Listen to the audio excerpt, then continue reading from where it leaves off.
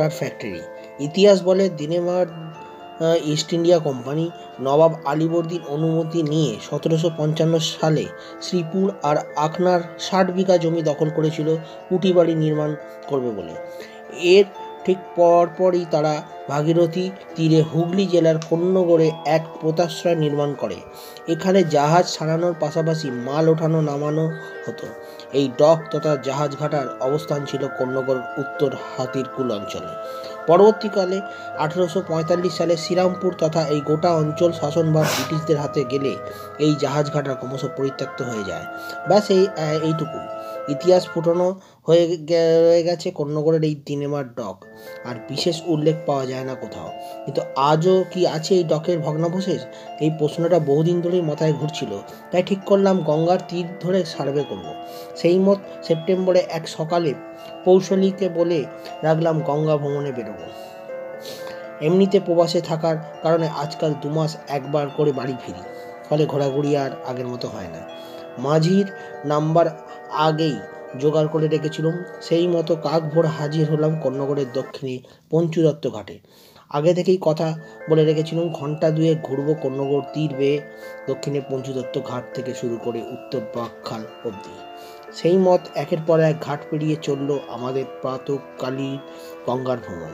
বারো মন্দির ঘাট পেরোতেই নড়ে চড়ে বসলাম। কারণ সত্তরের দশক অবধি যারাই কন্যগড়ের ইতিহাস চর্চা করেছে তারাই লিখে গেছে যে আজও গঙ্গার তীরে বহু প্রাচীন এই জাহাজ ঘাটের অবশেষ দেখা যায় বারো মন্দিরের উত্তরে। বিশালক্ষী ঘাট পেরিয়ানোর পর থেকেই দেখলাম গঙ্গার তীরের চরিত্র বদলে গেল। কাদামাটির সাথে সাথেই মাটিতে প্রথিত পাথরে স্থাপত্য চোখে পড়তে শুরু করল। সামনেই এক বহু প্রাচীর পরিত্যক্ত ঘাট ইটের হাড় পাজরা বেরিয়ে পড়ার ফলে নিচের আর্চ ফাউন্ডেশনগুলো চোখে পড়েছে। ঘাটটা এতটা প্রাচীন যে মূল মাটির সাথে আর বিশেষ সংযোগ নেই। সম্ভবত এই দিনেমাররাই নির্মাণ করেছিল। পরবর্তীকালে উনিশশো চল্লিশের দশকে আবার সংস্কার করা হয়। এই ঘাটের পেছনে জঙ্গল আর মন্দির, তার মধ্যে দেখায় বেশ পুরনো এক ইটের ভগ্ন স্থাপত্যকে চেক সাহেবদের বাড়ি। আপনারা অনেকেই হয়তো জানেন না যে ভারতবর্ষের প্রথম বাটার ফ্যাক্টরি তৈরি হয়েছিল এই কর্ণগড়ে, থমাস যে বাটা শুনেছি যে নিজেই এসেছিলেন উনিশশো চল্লিশ সালে কর্ণগড়ে এই সাইট বেছে নিতে। পরবর্তীকালে অবশ্য কয়েক বছরই চলার পরে ফ্যাক্টরি তারা বাটানগর সরিয়ে নিয়ে বাধ্য হন। কারণ কন্যগড়ের উত্তরে হাতিরকুল অঞ্চল ছিল একাধিক বামুন পরিবারদের বাস জুতো নির্মাণের জন্য বাইরে থেকে জানোয়ারের চামড়া আনতে হবে বলে তাদের প্রবল আপত্তি ছিল। ফলে একরকম বাধ্য হয়ে থমাস সাহেব এই ফ্যাক্টরি সরিয়ে নিয়ে যান বাটানগরে। যদিও কন্যগড়ের বাটার মোড়ে এই দেশের প্রথম বাটার রিটেল আউটলেট খোলা হয়, তা বহু কাল অবধি চলছে। এই বছর পনেরো আগে মনে হয় দোকানটা ভেঙে ফেলা হয়। যাই হোক, প্রসঙ্গে ফিরে আসা যাক। ধারণা করা হয় যে থমাস সাহেব তার ফ্যাক্টরির জন্য যে সাইটটা বেঁচেছিলেন সেখানেই ছিল এই ডিনেমার ডক। প্রায় তিনশো বছর আগে ইউরোপ থেকে যে সমস্ত জাহাজ এসে পৌঁছতো, এই হুগলির প্রাথমিক ছাড়াই করা হতো কন্যগড়ের এই জাহাজ ঘাটার তারপর তারা পৌঁছে যেত শ্রীরামপুরে।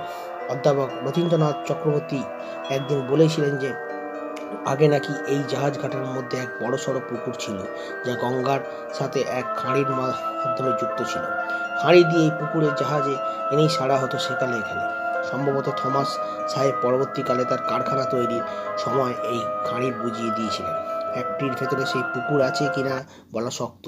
কারণ বহু যুগ ধরেই তালাবদ্ধ পড়ে থাকা সেই পরিত্যক্ত বাটার ফ্যাক্টরি আর ছোটোখাটো অরণ্যের আকার নিয়েছে যাই হোক ইন্টারেস্টিং জিনিস দেখতে পেলাম বাটার ফ্যাক্টরির উত্তর অংশে অন্তত একশো মিটার জায়গা জুড়ে, ঠিক দুর্গের সীমানা প্রাচীর মতো মতো কিছুটা অংশ পর দুর্গের প্ল্যাঙ্কিং টাওয়ারের মতো গোলাকার থাম।